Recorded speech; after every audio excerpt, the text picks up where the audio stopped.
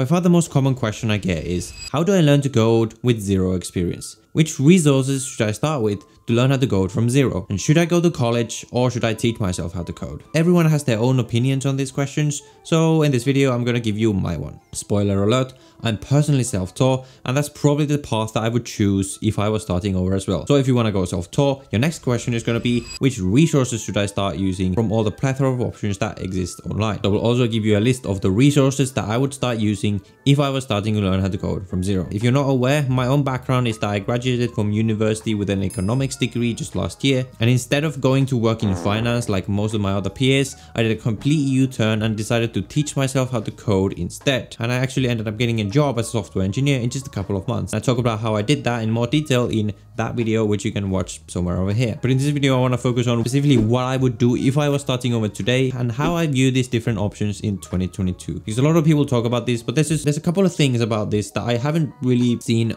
other people consider, or maybe they have, but like a lot of people really miss the point with a lot of, the, I'll explain. Let me just explain. So there are roughly three factors to consider in your decision of where to start learning to code.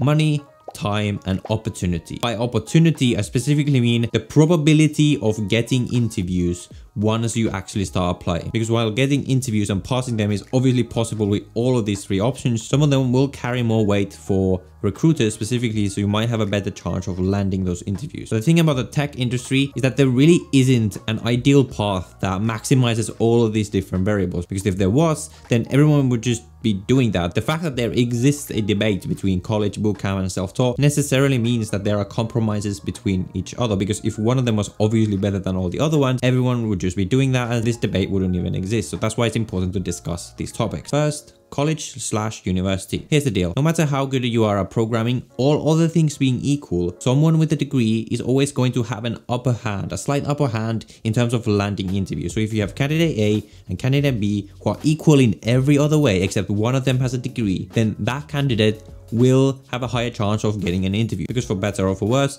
having a computer science degree on your resume is going to be a strong signal to your employers that you are competent even though it doesn't necessarily mean that. But then you probably also know that there are a lot of computer science graduates who also struggle to get jobs. So surely that means that getting a job as a self-taught is impossible if not even all graduates can get jobs. Not exactly. Because what i want to emphasize is that a college degree is beneficial. All other things being equal and in terms of getting interviews. And that's really important. At least in a lot of the big tech companies, once you actually land an interview, the only thing that matters is your performance in the interview. In fact, I've heard Google recruiters say that they are specifically instructed to only consider the candidate's performance in an interview when assessing them. But essentially, if you manage to land an interview in one way or another, then at that point, whether you have a degree or not, doesn't even matter anymore. But a degree will help you land those interviews. But the other important thing is that all of the things usually aren't equal There's a lot of college graduates who are completely useless at coding, who haven't put into work to actually learn the fundamentals and to build the skills that employers actually look for. There's a lot of self-taught people who are really great at coding and who have an excellent understanding of data structures and algorithms and all of the basics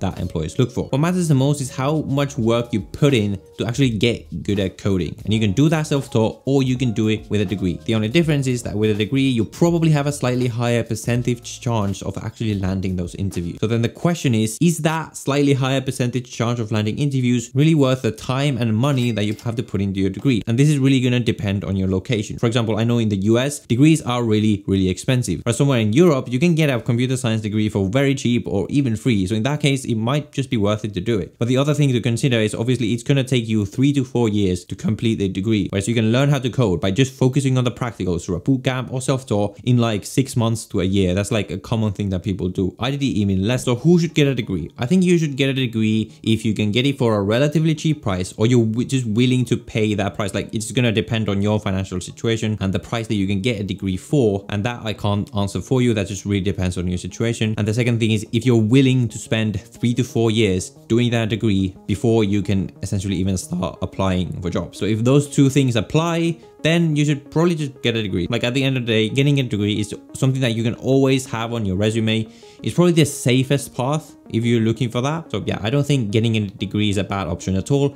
It's just I don't think it's the fastest path to getting a job at all. So next, boot camps. And this is my personal least favorite option. Now, that doesn't mean that it can't work for many people. It works for a lot of people and there's so many, so many bootcamp graduates who successfully get jobs all the time. So a coding bootcamp is essentially an immersive program that teaches you everything you need to know about coding to land a job while sort of not focusing on a lot of the fluff and the theory that you probably don't need to land your first job. So you can complete it in a lot less time than a degree but you're still usually paying quite a lot of money for it. I can see them going for like $10,000 plus. I know there's also some where you don't pay anything up front, but you only pay a percentage of your salary if you do actually land a job. So there are definitely options to do it with very little financial risk. But the thing about boot camps is that I highly doubt that having the boot camp on your CV is really gonna carry all that much weight. What really matters about these things is what you can then build with your skills, the skills that you can build and the projects that you can build with those skills and then showcase to employers to prove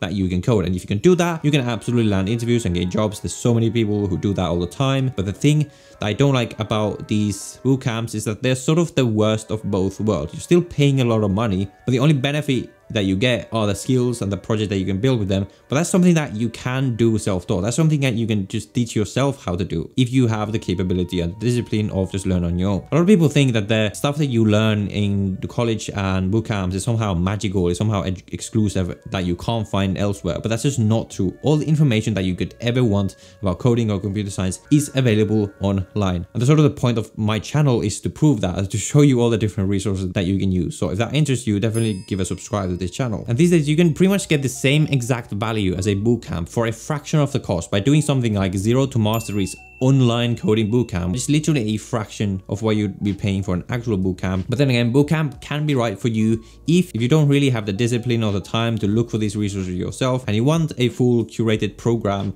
and you specifically want it to be in person to have access to the teachers to ask questions from. In that situation, bootcamp could be for you, but personally, it's just not what I would do. So lastly, self-taught. And I think this is sort of the better version of a bootcamp because you can essentially learn everything that you would learn in a bootcamp, except just not pay for it or at least not pay as much. But crucially, this requires that you are someone who is able to learn things on your own, which is, I think, a skill that's probably the most valuable skill that you can have in your life anyway. So if you're not someone who is disciplined and able to learn things on your own, that is really a skill that you should probably be building anyway, because as a programmer, you are sort of required to be someone like that anyway in your job. But really the great thing about self-taught is that you can really move at your own pace. And for a lot of people who are changing careers perhaps from another field where they already have a full-time job and they don't have time to commit to a full-time program, going self-taught might be the only option. But the great thing about the tech industry is so possible to teach yourself how to code and then transfer into becoming a software engineer. I did it myself. So many people do it all the time. You just need to go out there and find the right resources. This is very different from a lot of different high paying fields like law, or medicine, where you really need to have that degree for very good reasons, but tech is not a field like that. Coding is a very practical skill. And the only thing that matters to employers at the end of the day is do you know how to code or not? And which method you use to learn how to code really doesn't matter at the end of the day. And sure, as I said, once you're actually applying for jobs, you are at a slight disadvantage compared to people who have degrees. But what many people aren't considering there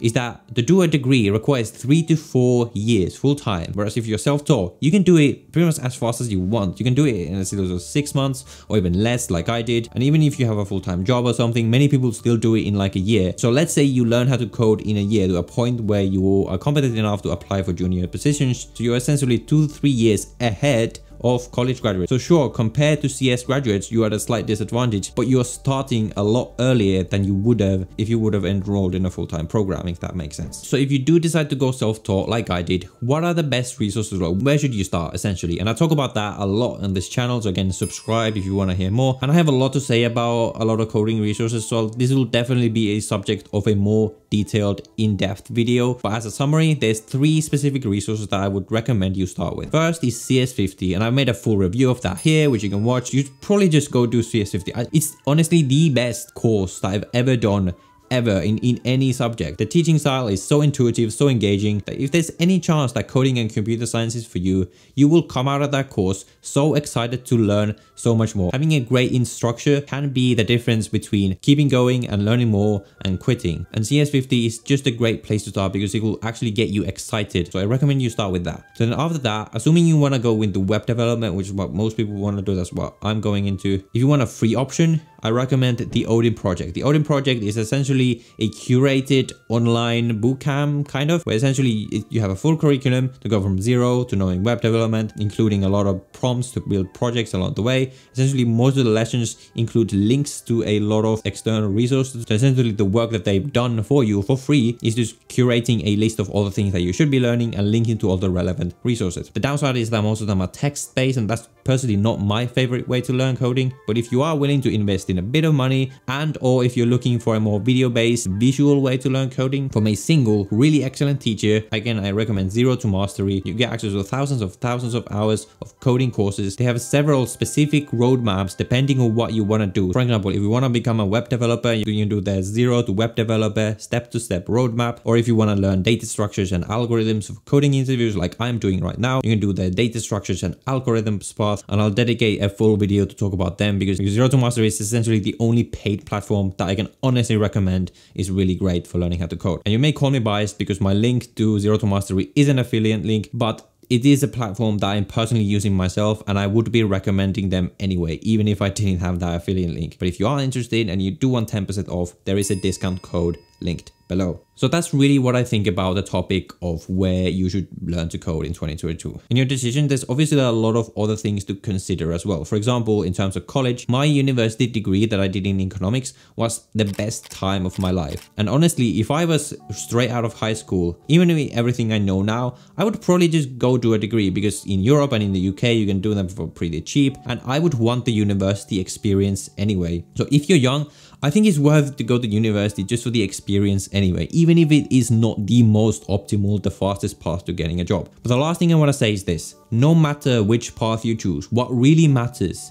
in the coding industry is how good you are at coding. What really matters is how motivated you are to learn and that you're willing to put in the work to learn the fundamentals, to learn what you need to know and to get the skills that companies want. Whichever path you choose at the end of the day is secondary to having these things. to just keep in mind, whichever path you choose to get a job, you actually need to be good. No matter how much you pay for your degree, if you don't put in the work to actually learn the stuff, no one's gonna give you a job. And a lot of the benefit from getting a college degree comes from having access to a lot of high quality resources and teachers. But the great thing is that in this day and age, you can just build yourself a full computer science degree from online materials. And I've actually done this. So if you do want to learn computer science, but you don't want to pay for an expensive degree, I highly recommend you watch this video where I explain explain exactly how I am teaching myself computer science for free using the internet and I even give you a Notion template for you to use to track your progress.